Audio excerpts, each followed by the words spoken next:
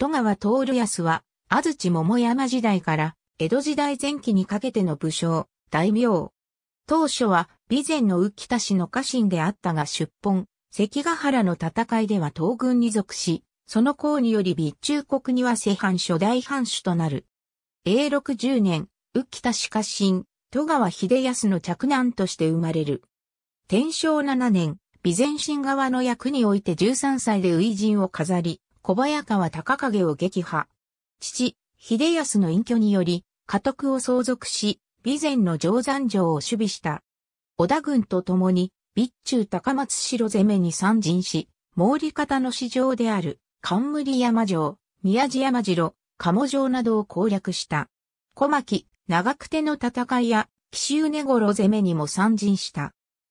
四国征伐に、一宮城攻め、九州征伐に、岩石城とますます、不城、日向高城攻め、小田原征伐に、山中城、小田原城攻略、文禄、慶長の役に、加藤清正を乱海境に助け、壁定館の戦いや幸い州山城の戦い、第二次鎮守城の戦い、南原城の戦いに奮戦、常に、浮田軍の主力として、出陣、先陣に武勇や知略を発揮して、数々の戦功を立てた。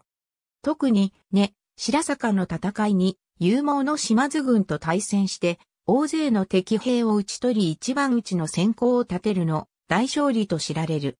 当時の浮田氏は、直家の没後、父の秀康も含めた、浮田三郎と呼ばれる重臣が、当主の秀家を貢献する体制をとっていた。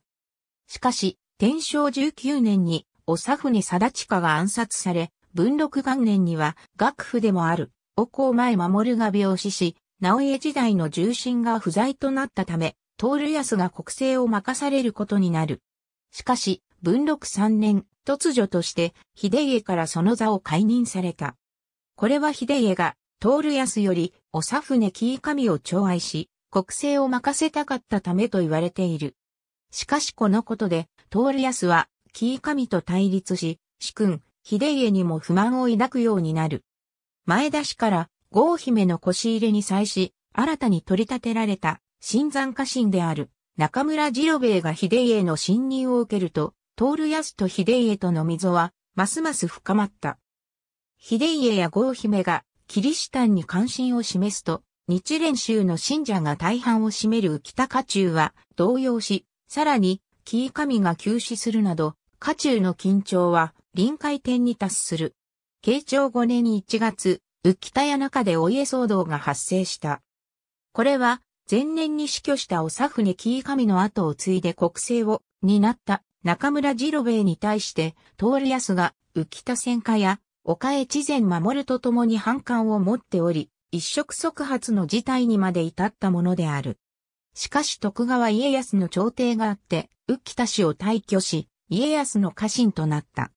同年の関ヶ原の戦いでは東軍に組みして、前哨戦の木曽川、豪都戦の戦いに一番槍の功を立て、本戦も先行を挙げ、戦後、備中庭瀬に三万国を与えられた。大阪の陣にも参陣して、先行を挙げ、徳川家臣として徴用され、江戸城内の音木衆に加えられ、先人体験を若い旗本に伝えたという。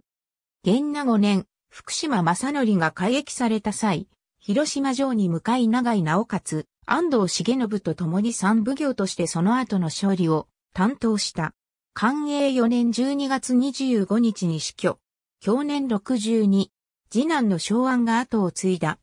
長男に平助がいたことが分かっているが、拝着されている。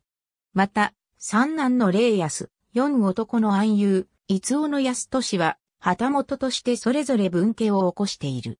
現在、徳川美術館に所蔵されている担当、戸川静の所持者。人体長江、太くたくましく、力量衆に超え、年老いては一重に仁王のごとし。ありがとうございます。